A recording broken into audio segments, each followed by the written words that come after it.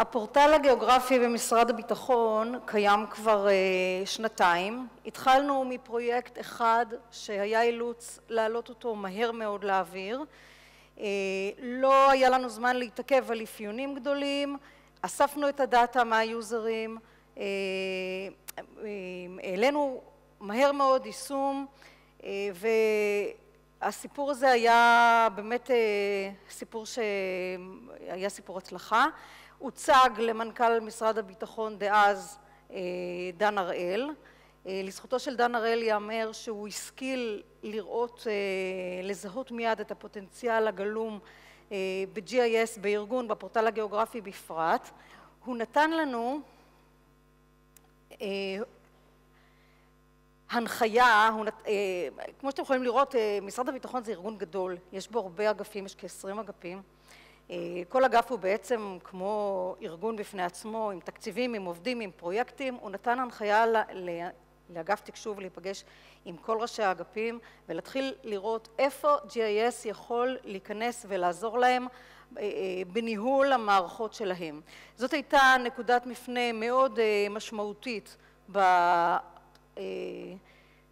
בחיים של ה-GIS במשרד הביטחון ומאותה נקודת זמן הספקנו להעלות די הרבה פרויקטים, כעשרה יישומים לשבעה אגפים שונים.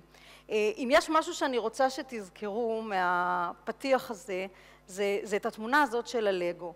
הרעיון שלנו אומר, ודיברו על זה, דיבר על זה גם אופיר במליאה, אל תתחילו, אם אתם רוצים להעלות פרויקט לאוויר בשיטת הפורטל, אל תתחילו לעשות אפיונים גדולים, ייקח המון זמן לאפיין, לעצב, לפתח. יש לנו יישום שמאפשר לנו להעלות דברים לאוויר מאוד מהר. לא מאה אחוז מה שהמשתמש רוצה, שמונים אחוז, אבל זה יעלה עכשיו. לוקחים את הדאטה, שמים אותו על מפה, נותנים כמה כלים למשתמש, כך תתחיל לעבוד, בעתיד אנחנו כבר נעשה איתך דיאלוג ונראה לאן אנחנו לוקחים את היישום הזה.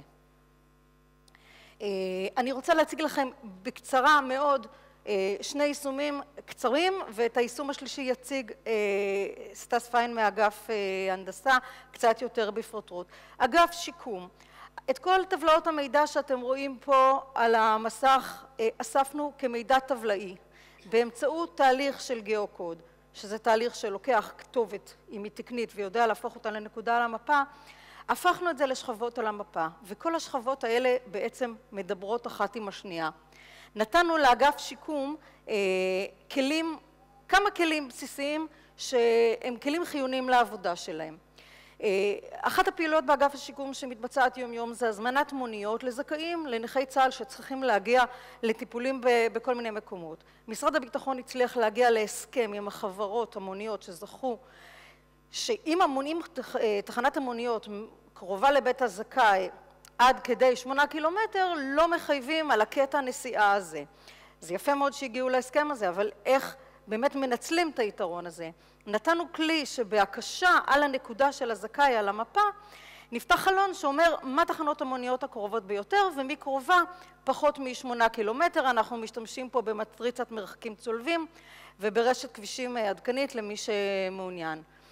הכנו כלי של כיסוי, אני מצטערת לא יכולתי להוציא מפות אמיתיות ממשרד הביטחון אז אתם רואים פה מפת ארצות הברית אבל מי שמכיר את הכלי של Service Area כשאנחנו פורסים את זה על מפת הזכאים אנחנו רואים איזה שירותים במקרה הזה מרכזי שיקום בכלל נגישים באזורים השונים. יכול להיות שנגיע למסקנה שיש לנו אזור שלם שאין בו בכלל כיסוי ויש שם הרבה זכאים ואז העלויות הן נורא גבוהות בלהסיע אותם וזה שיקול בלמקם מרכז במקום יותר קרוב.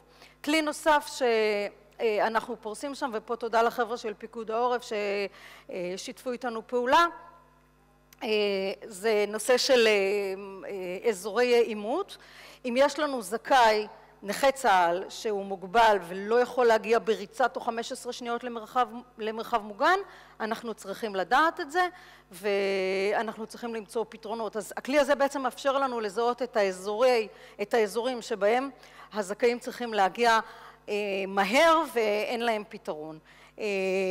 כיום מפתחים כלי נוסף וזה כלי שיעזור לעובדים הסוציאליים שצריכים להגיע לכל הזכאים לתכנן את המסלול הביקורים שלהם בצורה מהירה ויעילה. אגף נוסף שאנחנו נותנים לו מענה כרגע זה אגף חיילים משוחררים, אני כבר אין לי זמן להציג אותו. אז רק נגיד בקצרה שכל יישוב בארץ זכאי לבקש רכז, הרכז הזה נותן הרבה מאוד שירותים לחיילים המשוחררים, הזכאי הזה מתוקצב על ידי משרד הביטחון ואנחנו נותנים להם כלי לתכנן ולראות איזה יישוב באמת זכאי לרכז. היישום הגדול והמשמעותי יותר אני רוצה, מתבצע באגף הנדסה ובינוי, אני רוצה להזמין את סטס פיין, את רב סרן סטס פיין מאגף הנדסה ובינוי שהתואר הכי טוב בשבילו זה האבא של הפרויקט